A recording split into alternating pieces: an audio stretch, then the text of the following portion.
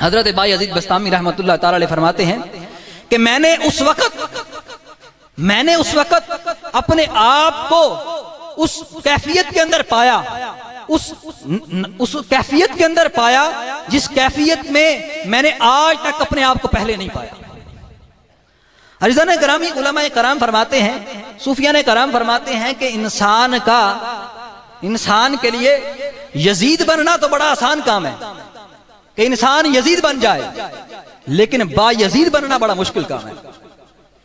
बा यजीद बनना बड़ा ही मुश्किल काम है। अरिजान ग्रामी बायजीद बनना बड़ा ही मुश्किल काम है। वजह क्या है? वजह यह है कि वालदेन की खिदमत करके इंसान को यह मरतबा मिलता है। अरिजान ग्रामी, एक कारी, जो कि बहुत ही खुशलहान अंदाज में तो रैत की तिलावत किया करता था। एक दिन हुआ यूँ कि वो, उसको आदत थी वो शराब पिया करता था। वो शराबी था। शराब पी के घर आया करता। तो एक दिन उसने शराब पी और जब वापस घर पलटा तो वालिदा को कहने लगा कि मेरे लिए गोश्त तैयार किया जाए। वालिदा ने मना कर दिया कि तुझ इस हालत में है, मैं ये नहीं पका कर दूँगी तुमको।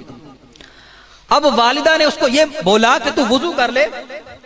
तू तू तू वज़ू कर ले क्योंकि उस उसकी किरात जो थी तो रैत की जब वो तिलावत किया करता तो बड़ी ही खूबसूरती के खूबसूरत अंदाज में किया करता था।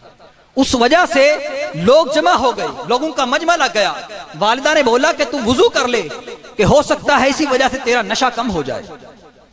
उसने अपनी वालिदा को मना किया। वालिदा ने फिर उसको मना किया बेटे को कि बेटा बाज आ जाओ और वज़ू कर। लेकिन बेटा बाज ना आया और बेटे ने क्या किया कि अपनी वालिदा को थप्पड़ दे मारा। इतना शिद्दत के साथ थप्पड़ मारा कि वालिदा की आँख निकल गई और कुछ दांत टूट गई रात को जब सो गया, सोने के बाद जब सुबह उठा तो उसने देखा कि मैंने ये क्या कर दिया? ये हरकत तो मुझसे बहुत बड़ी हो गई। मैंने तो अपनी वालिदा की गुस्ताखी कर दी है।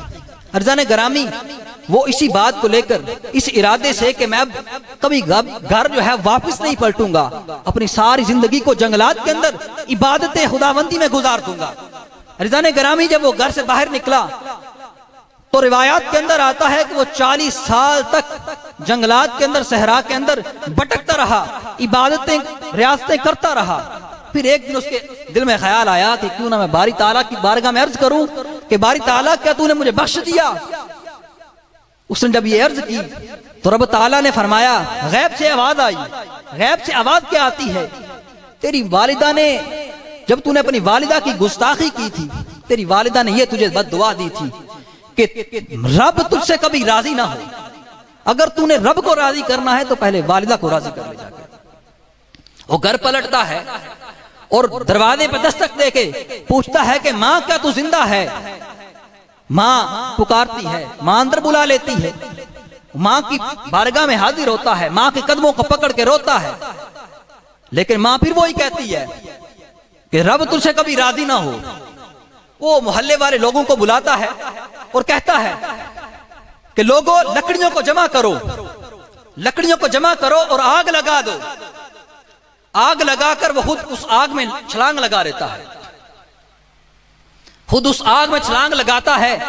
तो अब वालिदा चीखती है और पुकार उठती है। क्या बारी ताला मेरे बेटे को माफ़ फरमा दे। ए बारी ताला मेरे बेटे को माफ़ फरमा दे, क्योंकि मैं अपने बेटे से राज़ी हो चुकी हूँ। तो फिर क्या होता है कि अल्लाह तबारक ताला अपने फजल और करम से उस बेटे को भी आग को छूने नहीं देता। और उस वालिदा जो है, उसकी आँख वो, आँख को भी अल्लाह तबारक ताला अपने फजल और करम से दुरुस्त फरमा देता है।